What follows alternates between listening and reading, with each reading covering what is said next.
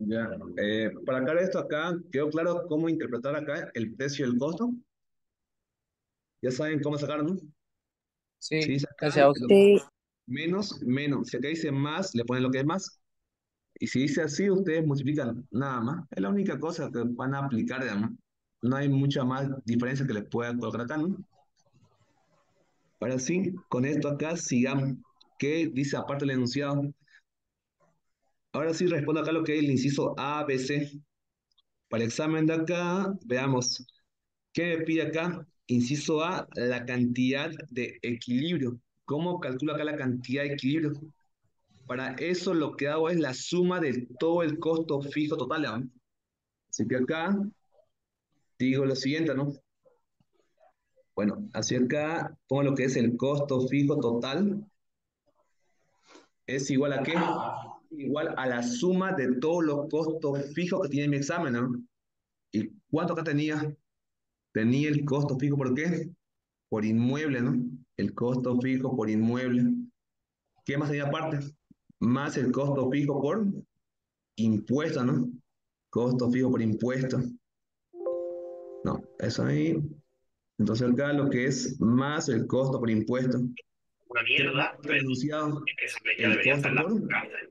Es que lo que han hecho, de eso yo no he hecho en mi vida, ¿eh? A cuatro días de la salida libro, nuestro tal, eh, y ustedes van a sumar, sacamos lo que es costo fijo total, socios, y están reembolsando todas que las compras. inmueble, tu audio. Se acabó de mi for. Cuatro días ha durado, la empresa cierra y no van a darle soporte, no van a actualizar ya, ya lo, ya les, ya lo dimos solución a eso. Entonces acá reemplazamos lo que le decía, ¿no?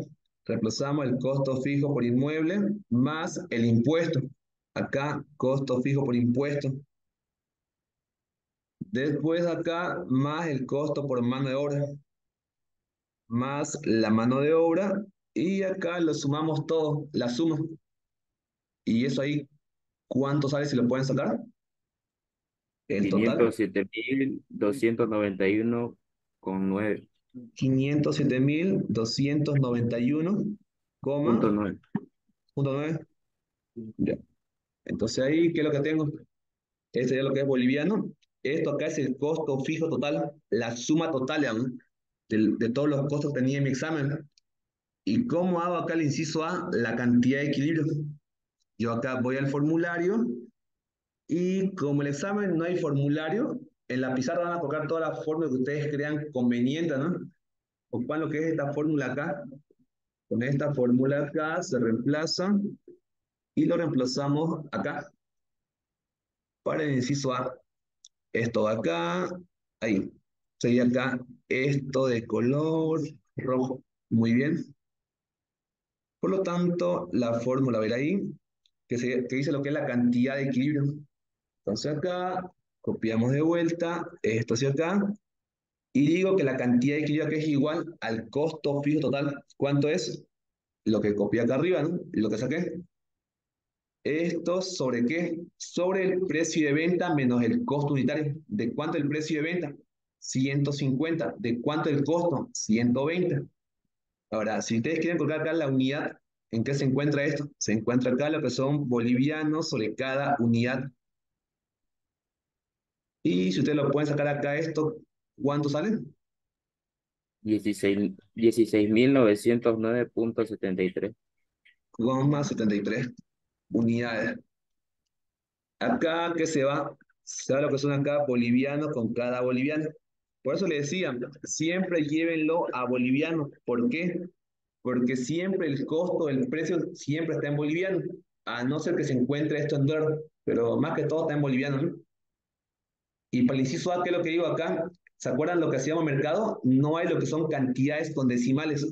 Siempre se lleva al siguiente valor. Así que esto acá es aproximadamente cuánto. Con acá, esto acá es aproximadamente, símbolo de aproximación, 500, bueno, acá en vez de 9 sería lo que son 16.910 unidades. ¿Dónde está? 910 unidades. Y esto acá sería la respuesta. Esto acá es el inciso A. Por lo tanto, inciso A, respondemos eso. ¿Alguna duda? Ya, esto ahí. Y después pongo acá lo que es inciso A. Ya, inciso A. Muy bien. Ya, ahora ¿qué sigue acá? Sigue encontrar el inciso B. ¿Cómo encuentro acá el inciso B? Con la fórmula. Así que para el inciso B ocupo la fórmula. ¿Qué pide el enunciado? Veamos, a ver. El enunciado me dice lo siguiente. la utilidad si se vende 500 unidades por encima del punto de equilibrio. Me pide la utilidad si yo voy a vender 500 unidades por encima de ese punto, ¿no? Por lo tanto, eso acá, plasmémoslo acá. Inciso B, hacia acá, y ahora partamos esto con una flecha. Al ahí, y esto que sea un poco más grueso. Ya. Perfecto. La utilidad se vende 500 unidades por encima del punto. Muy bien. ¿Qué fórmula ocupa acá para la utilidad? Si yo veo de vuelta el formulario que tenemos, la utilidad es igual a pi. La fórmula para encontrar utilidad es igual al margen de contribución por las unidades extra que se vende por encima, ¿no? Entonces acá lo que hacemos es lo siguiente. Colocamos la utilidad es igual a margen de contribución por unidad extra. El enunciado siempre me dice cuántas son las unidades extra. Acá, ¿qué dice? Dice, se quiere vender 500 unidades por encima del punto. O sea, esa es la unidad extra, 500. ¿no? ¿Cómo encuentro acá cuánto es el margen de contribución? Para el margen de contribución voy de vuelta al formulario, que es igual, es igual al precio de ventas sobre el costo, la diferencia, ¿no? Por lo tanto, acá voy a pegarlo. Coloco, el margen de contribución es igual al precio menos el costo. Muy bien. Hacia acá pongo margen de contribución, precio menos costo. Por lo tanto, el precio, ¿cuánto es? 150. Así que acá 150 menos el costo, ¿cuánto es? 120. ¿De cuánto lo que es el margen de contribución? De 30 unidades, ¿no? Margen de contribución, 30 unidades, no, 30 bolivianos sobre cada unidad. Ya. Y lo que hago después es ocupar esta fórmula acá y lo voy a reemplazar. Reemplazo. ¿Qué digo acá? La utilidad, que es pi, ¿a qué es igual? Es igual al margen de contribución de cuánto? 30 bolivianos sobre cada unidad. Multiplicado por cuánto? Las unidades extra. ¿Eso cuánto es? 500 unidades, ¿no? 500 unidades. Entonces acá, a ahí, ¿y qué se va acá? Se va lo que son unidad con cada unidad. ¿Y qué me queda? Me queda lo que son bolivianos, que es la utilidad. Entonces acá si lo pueden calcular de cuánto es la utilidad. 15 mil. 15 mil. Ya, ponemos acá lo que es la utilidad, es igual a 15 mil, ¿no? Utilidad igual a 15 mil bolivianos. Por lo tanto, acá, ¿qué sería? El inciso B. Entonces, acá, ¿alguna duda que tengan? Inciso B, utilidad. O sea, inciso A, B, C, lo mismo, es mecánico, siempre se repiten. La misma forma, todo lo mismo, ¿no? ¿Qué cambia acá? Que si yo le peleé en algún costo fijo, el inciso A está mal. ¿Por qué? Acá como lo que son todos los costos fijos que he sacado, ¿no? Nada más. Solamente para el inciso B es, como decirlo, diferente. No depende del inciso A. ¿Alguna duda sobre el costo del inciso A y B? Ya, entonces acá sigamos con lo último, para acabar la, la ayudantía o el repaso, ¿no? Inciso C, ¿qué dice acá el enunciado? El enunciado me dice lo siguiente, ¿cuál será la cantidad necesaria para alcanzar una utilidad del 13%? Muy bien, me dice cuánto es la cantidad que debo ocupar para que mi utilidad sea del 13%, ¿no?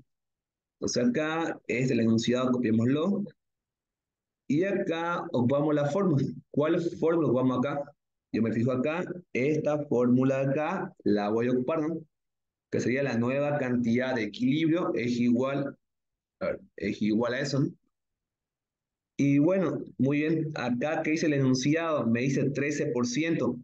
¿Qué es lo que hago acá? lo que hago sería llevar ese 13% a qué? 13% lo voy a llevar a lo que son a decimales. ¿A qué es igual eso? A 13 sobre 100. ¿Eso cuánto sale? 0,0,13, ¿no? 0.3. O sea, el enunciado me decía 13%, lo llevo a decimales, no a porcentaje. Este 13% lo llevé a cuánto? A decimal, que sería 0,13, ¿no? Entonces acá en la fórmula, ¿qué es lo que hago? Voy a reemplazar, ¿qué dice acá la fórmula? Me dice acá lo que es 1 más el porcentaje de utilidad. ¿Cuánto es el porcentaje de utilidad? Es igual al 0,3. Pongamos acá el color, para que se vea bien, celeste, ¿no? 0,3. Ah, sí, disculpe que el lo costo fijo total. ¿Sí? En el PDF que mandó dice 10% la utilidad. Claro. Eh, en sí dice 10%, pero dice, aparte una fórmula, ¿no? Acá dice 10%, ¿no? Pero acá, no sé si se encuentra este esta fórmula acá en el PF. O sea, cuando es 10% es más fácil, ¿no? Pero acá 13%, ¿no? O bueno, si dice 10% acá, pongámosle 10%, ¿no? A ver. Si el PF acá dice 10%, pongámosle acá 10%. Así que acá va a ser 10%, sería acá lo que son 10, ¿no? Y acá ¿qué sería 10. O sea, acá ¿qué sería 0,10, ¿no? Multiplicado por qué? Por el costo fijo total. ¿Cuánto es acá el costo total, ¿no? Así que acá, a ver, esto acá copiémoslo y multiplicado por el total. El total lo saqué acá, ¿no? Se encontraba esto. Entonces acá lo reemplazo. Y esto acá sin color. Dice acá menos precio de venta. ¿De cuánto el precio? 150. El porcentaje, el porcentaje acá es lo que es 1 sobre, ya, sobre esto, multiplicado por cuánto, multiplicado por lo que es el tema del costo. ¿De cuánto es el costo? 120. Entonces, si ustedes lo pueden sacar acá, ¿de cuánto es la cantidad? Bueno, acá quitémosle esto. Esto agarran en su calculadora y sacan con decimales. ¿Cuánto sale? 31.001.17. Ya, 31.001.117. ¿Sale eso? Eh, 31.001.17. 31.001. A ver, 31.001.100. mm, A ver. Coma 117. Algo así.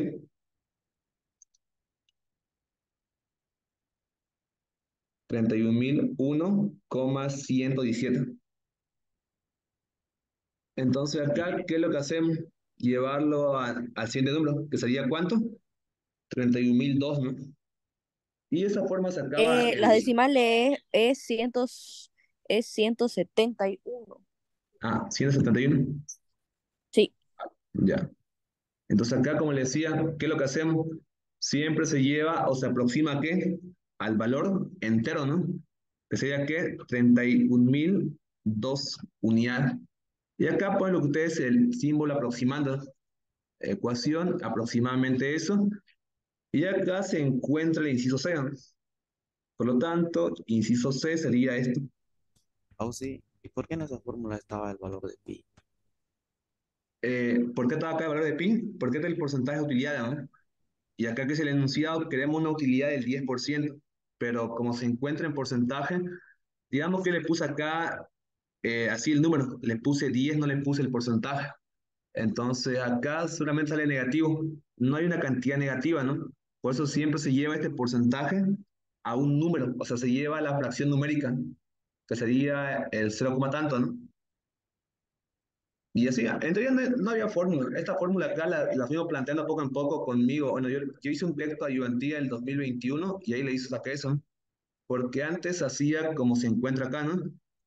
Bueno, a mí me enseñaron esta forma así, colocarlo, ¿no? Yo lo aprendí así, pero yo lo adecué así, ¿no? O Así que son cosas que uno le da énfasis, o sea, uno le da alguna cosa para que se vuelva mecánica, ¿no? Pero siempre ha sido llevarlo siempre en decimales, ¿no? Nunca en enteros. Entonces, por eso le puse acá porcentaje, ¿no? O seguramente en alguna fórmula solamente dice acá porcentaje, no, no dice utiliano. Es cosa que uno le va adecuando, como le decía, ¿no? No siempre, o sea, no es una fórmula establecida, ¿no? Es una fórmula que uno se, que yo la generé, digamos, hace, bueno, dos años atrás. Pero pueden colocarle porcentaje o, o pueden hacerlo de forma directa, da lo mismo. Siempre se llega a la, a la misma respuesta. Supongo que la Inge lo hace de otra forma, ¿no? O lo hace de esa forma. Ella no ocupa fórmula, ella le pone solamente uno coma y le pone ahí el porcentaje, ¿no? Igual es lo mismo, ¿no? A eso me voy. Entonces, ¿alguna duda sobre esto? Capaz lo hace, lo hace diferente, ¿no? Igual es válida, ¿no? Porque llegamos a la misma respuesta, ya sea que haga arroz diferente, ¿no?